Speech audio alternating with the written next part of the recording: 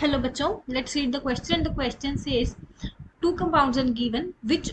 these show which type of isomerism and the options are A positional isomerism chain isomerism functional group isomerism and none of these तो चलिए, सबसे पहले हम इस question के लिए की कंसेप्ट देख लेते हैं. की concept is isomerism so isomers क्या होते हैं? Isomers are those compounds which have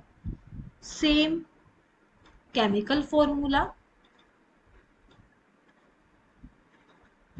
but different physical and chemical properties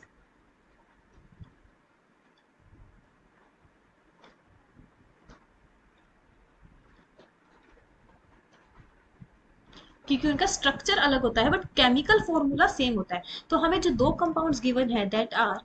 C H three C H two C H two B R in this functional group is B R और next compound given है C H three C H C L and then C H three तो अगर हम इन दोनों compounds में देखें तो इनका केमिकल फॉर्मूला इज़ डिफरेंट क्योंकि यहाँ एक में ब्रोमीन है और एक में क्लोरीन है। So chemical formula is different so ये आइसोमेरिज्म ही नहीं शो करेंगे। They do not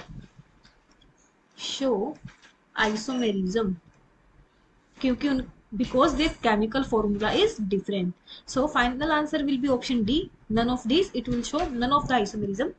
hope you find your answer and understood it well best of luck